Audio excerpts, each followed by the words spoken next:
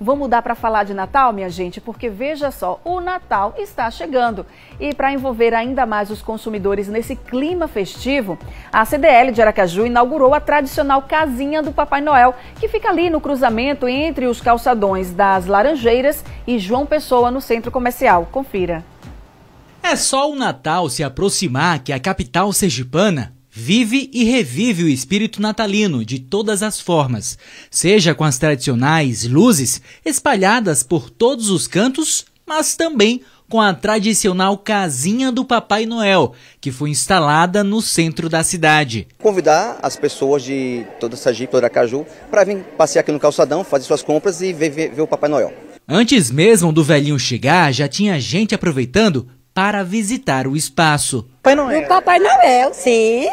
A, a ornamentação está chamando, está chamativa. Minha mãe passou por ele aqui, achou bonito. Meu filho, vamos olhar aqui para a gente ver como é que está aqui a situação. Vamos, mãe, vamos olhar. Está muito bonito aqui. Se quer ver mais, quer entrar, ela quer, vou tirar uma foto aqui para mandar para minhas filhas, para meus filhos. A ideia é que com a atração que foi colocada em meio ao coração da cidade, o ponto comercial de Aracaju atraia ainda mais a clientela e incentive as pessoas a movimentarem a economia na região. A ideia da, da Casa Papai Noel é aflorar o espírito natalino e, consequentemente, vai passeando no calçadão, faz suas compras então, gostaria de agradecer aqui aos apoiadores, né, o Banese Card e a Prefeitura Caju, que sem eles a gente não conseguiria trazer a Casa Papai Noel esse ano.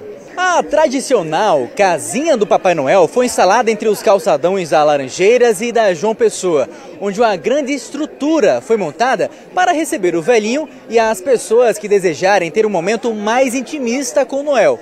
O local vai ficar disponível todas as tardes, até o próximo dia 24 de dezembro.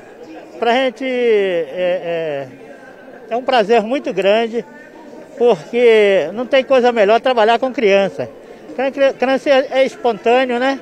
É, não tem maldade com nada. Então é, é muito gratificante para mim trabalhar com criança. O primeiro a entrar para falar com Noel foi o Gabriel, de 6 anos, que já saiu de lá sorridente. Pediu o que para ele, hein? Um PlayStation 5. Foi maravilhoso, né? Gratificante.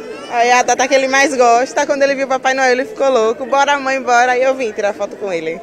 E claro que o ambiente é democrático, aberto para todas as pessoas, de qualquer idade. Que 2024 seja ainda melhor do que foi o ano de 2023 e que Deus abençoe cada vez mais a gente. Papai Noel foi uma boa ideia colocar aqui no centro, para as crianças passearem mais aqui. Eu pedi pra ele de presente uma caneta mágica com a tinta branca.